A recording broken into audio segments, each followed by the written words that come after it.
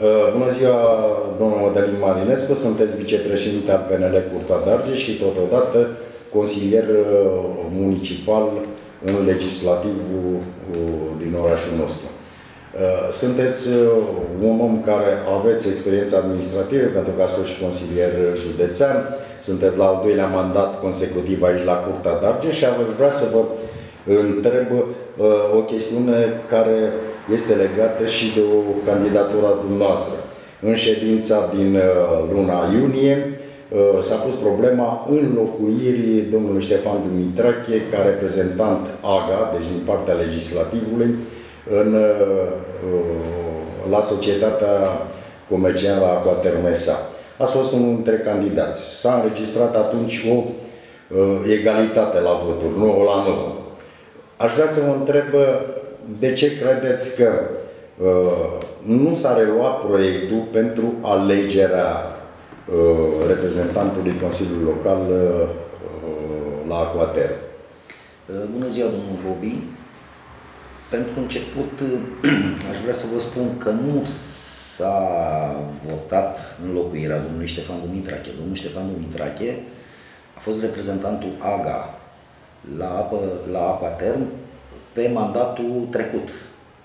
Odată cu încetarea mandatului a încetat și calitatea dânsului de reprezentant în AGA. Totodată aș vrea să vă spun că am fost la a doua rundă de vot pentru reprezentantul uh, Consiliului Local în AGA.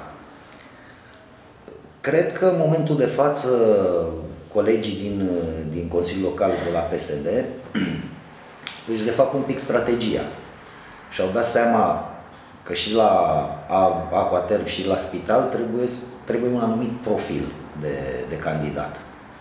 Și din câte știu eu nu prea iau cu studiile care trebuie în cele două posturi. Nu se poate prelungi la nesfârșit uh, acest, uh, această situație de status quo care, uh, din ceea ce spuneți dumneavoastră, nu prea este legală.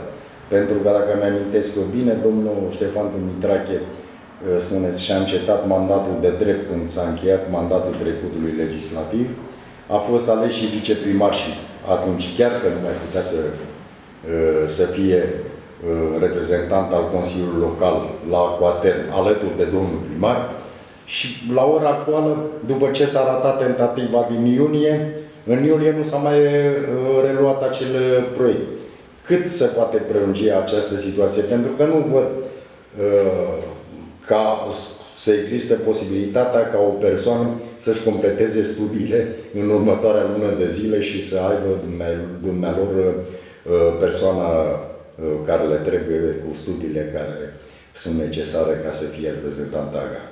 Încă o dată se dă dovadă de, hai să spun așa delicat, o lipsă de, nici nu știu cum să-i spun, să zicem de profesionalism.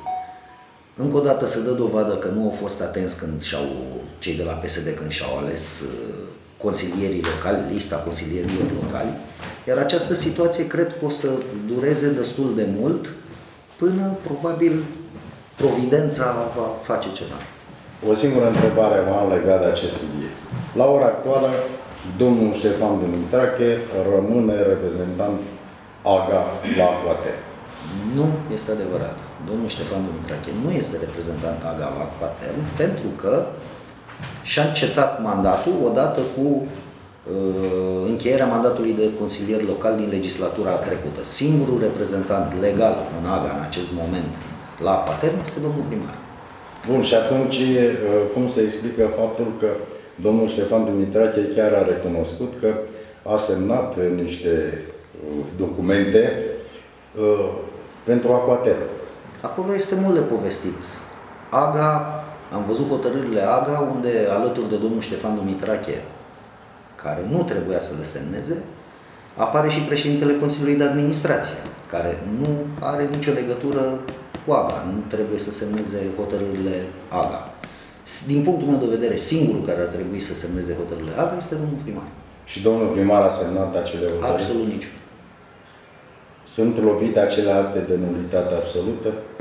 Există justiție, există legislație, nu e...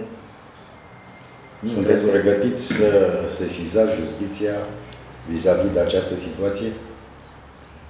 o să mă consult cu colegii și o să vedem ce, ce hotărâri o să luăm.